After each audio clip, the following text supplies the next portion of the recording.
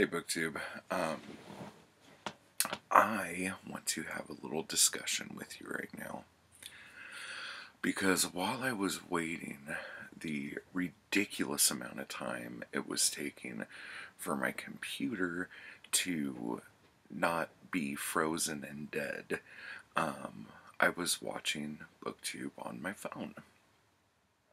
And I came across a video that probably, like in all honesty, this video, there was probably no harm meant in making this video, okay? But, um, it really kind of got under my skin, and not because of what the video was about, but because of the things that were said. So, boy, that was a big, long, ridiculous rant.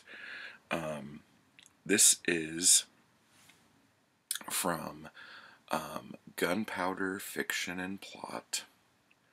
Um, it went up today. Um, in the video was a discussion with Biblio Obscura about giving minority authors negative reviews. And right off the bat, some of you watching this are like, whoa, dude, slippery slope, white guy. Like, watch it. Don't don't start saying bad stuff. I'm not gonna say bad stuff, but I'm a reader. I read books, so I'm allowed to say something about this. First off, second, at the beginning of this video and at the end of this video, they come to the conclusion that the way to give negative reviews to a minority author is to not be a dick. That's it. Be constructive in your criticism and don't be a dick. Now, I'm gonna fucking blow all your minds right now, okay? This goes for every kind of author there is. I don't care what color you are, what your orientation is, what planet you're from, what you worship. It totally doesn't matter.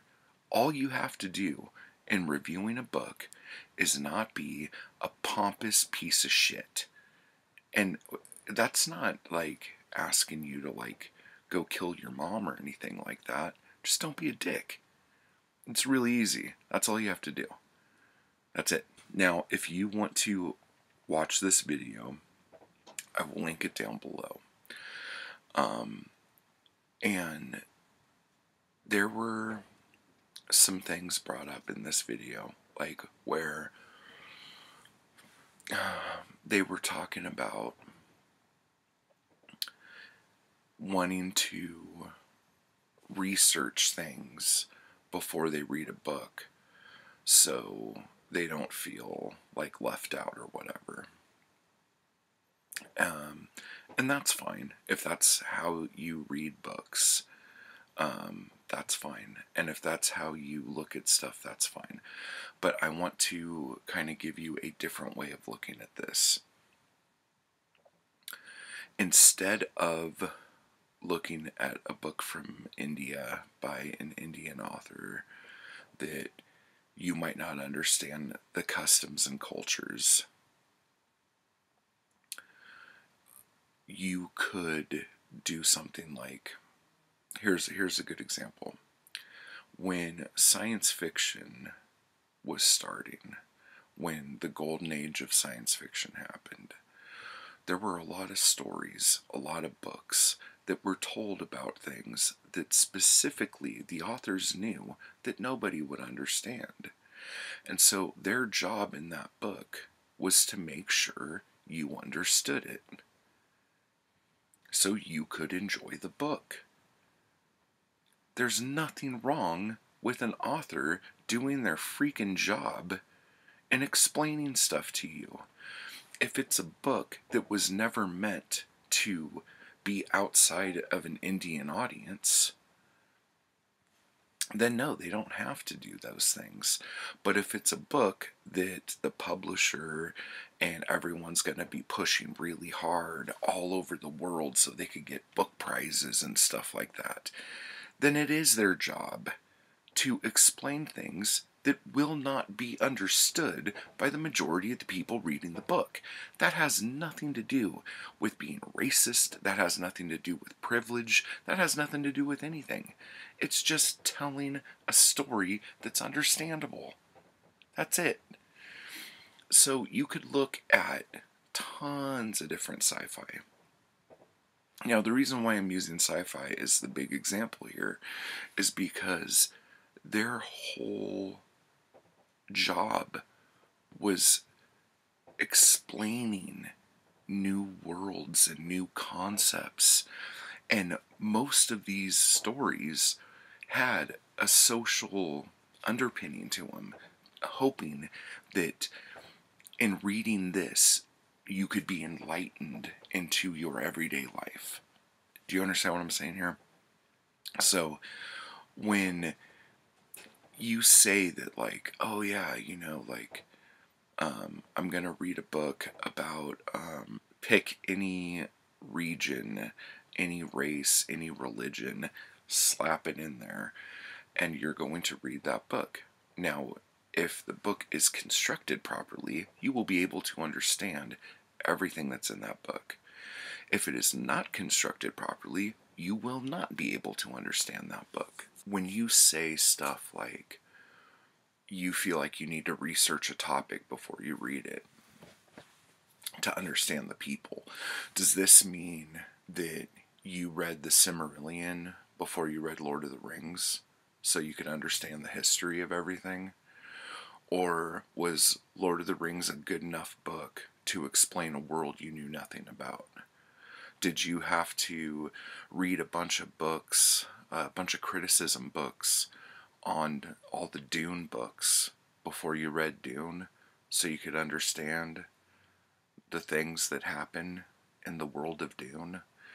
Um, did you need to buy a bunch of books on magic and witchcraft in order to read the Harry Potter books? I'm sure you've read the Harry Potter books. Everyone read the Harry Potter books, right? So I don't, I, I, I don't understand this. I don't understand um, needing to do a bunch of research on something before you read a book to understand what's going on in the book.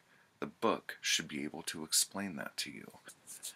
If it's something like a sequel or something like that, I got into an argument with um, Steve Donoghue about this before, um, where he thinks and I don't want to misquote Steve here or anything like this, but this was a conversation we had where Steve was saying that he should be able to pick up any book out of a series, start reading it, and be able to understand everything that's going on. It's the author's job, it's the editor's job to make sure any book could be someone's entryway into something. And I was like, no, you have to read books in order.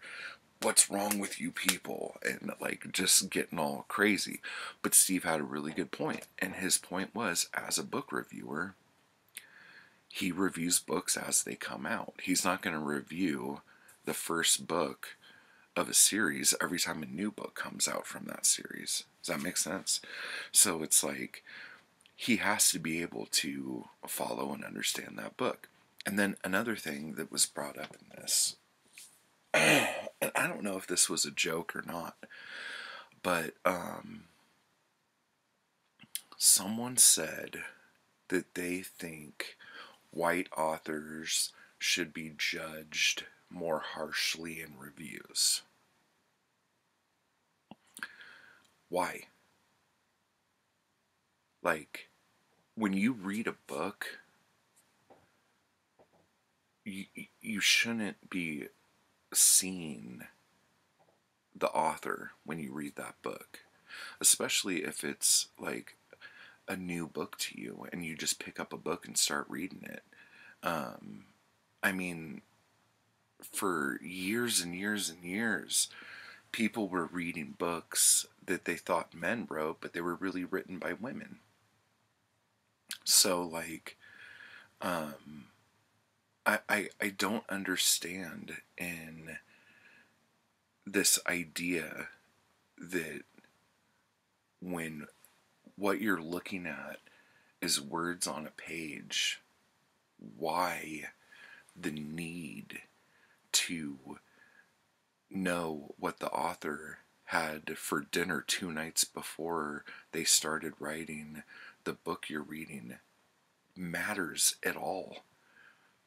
They're telling you a story. Now, if it's a memoir, I understand that, but at the same time, the memoir should be able to explain everything there is to know that you need to know in order to like or dislike that memoir.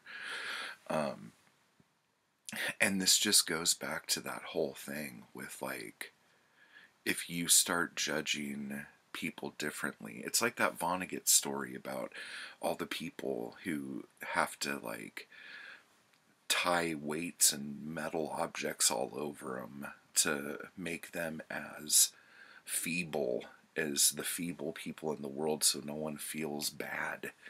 Um, it's it's silly.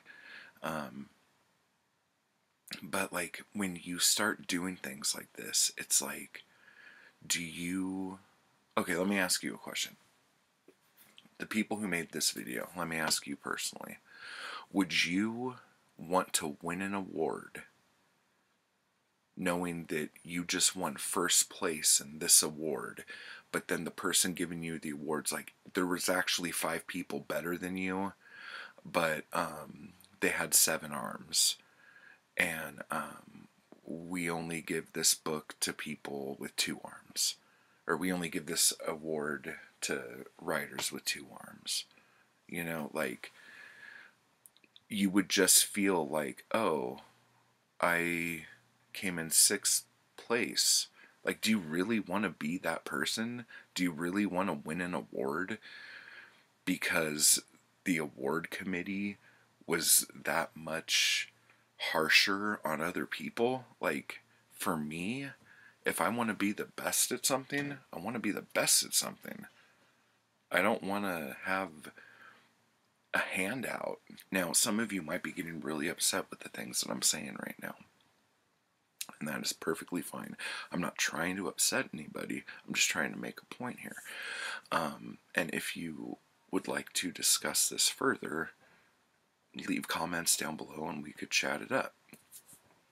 Um, there were a couple other things in this video um, that I thought for a group of people who were trying to not be elitist, they said some things that came off very elitist.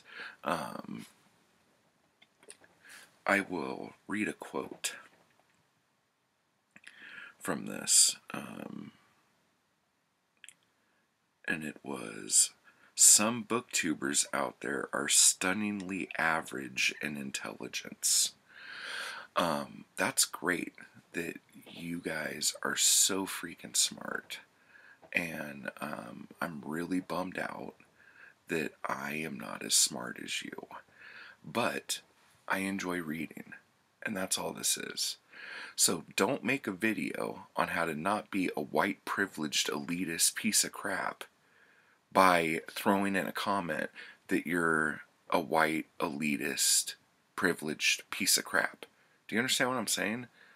Like, you should not say stuff like this. Booktube, and you're talking about like being inclusive and all this stuff. When you say stuff like that, that's what makes you a white elitist piece of crap. That is your white privilege talking. Not everyone got to go to whatever school you went to. Not everyone gets to read the books that you get to read. Don't say stuff like that. What's wrong with you? Seriously, don't do this. If you have a booktube channel, you should be just talking about books. You should be able to talk about whatever you're talking about, and you shouldn't feel like there's people on booktube who are pretending to be um, a little more inclusive, but saying stuff like this and everyone had a good laugh. And if it was in jest, that's fine. I apologize. But you, you're doing the exact thing that you're saying you're not wanting to do. So, um, that's all I'm going to say about this. Um, at the end of the day, the way, and the, and this is coming from some stupid white guy, but the way you review a book is to not be a dick when you do it. That's it. Um, there's nothing else to say about it. Just don't be a dick. So, I'll talk to you later.